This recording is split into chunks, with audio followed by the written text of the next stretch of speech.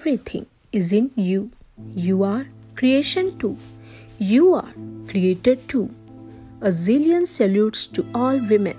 Yes, with 108 years of rich history, we are going to celebrate International Women's Day 2020 and the year is concerned with each for equal. That means if you want to enable world, make sure to generation equality in every aspect of life. The theme is realizing women's right for an equal future. UN believes if we all work together to fight against stereotypes, challenges and biases, we can eventually reach equality. As a humanity, world needs to count women's rights as a human rights and bring them into mainstream equally. I think the way we do that is we see each other as people. It should not be a woman or a man. You know, it should just be whoever can do the job should get paid equally all the way down the line. And a part of that is respectability.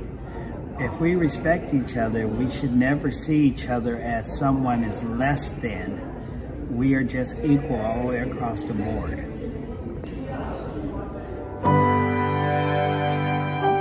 And I believe that gender equality will be wonderful for women because I think it will assist with making more um, salary and equalize that in the workplace for women. I think it's very important because women are very bright, but many times don't move up the corporate ladder because they're a woman.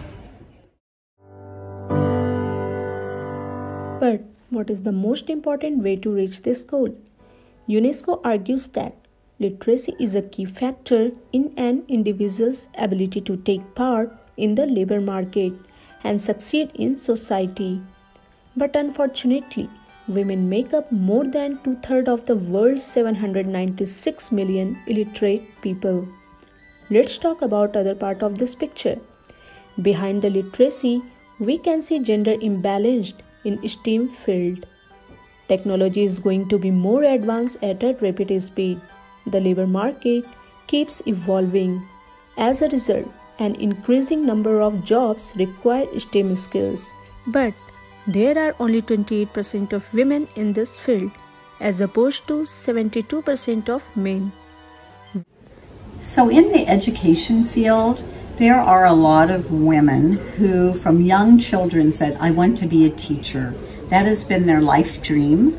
And so I do believe we have a lot of women in the educational profession and classrooms, especially in elementary.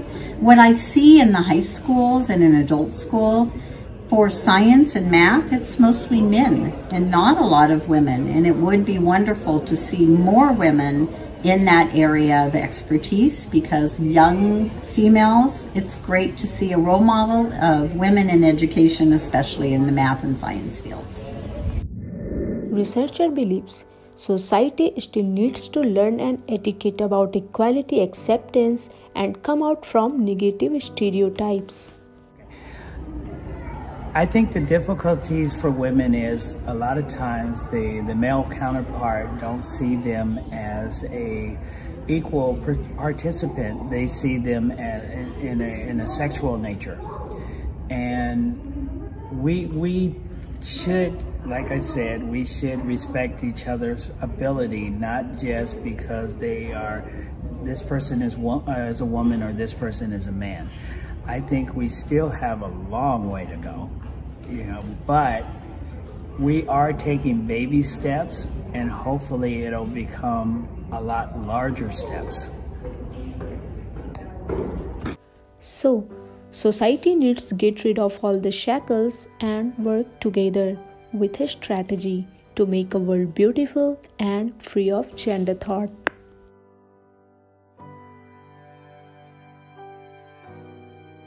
We are women, we are sisters, we're soulmates. We need to help one another, and a lot of times women aren't as uh, open to help another woman. And we need to because if we mentor women, they'll move up the corporate ladder, they'll be able to do better. We understand being a woman, how to help another woman. We understand how things feel when whatever happens, tragedy in your life. So it's very, very important. Please help and mentor a younger person, older person. Always look at a woman as your sister and help them in any way that they need. That's my advice.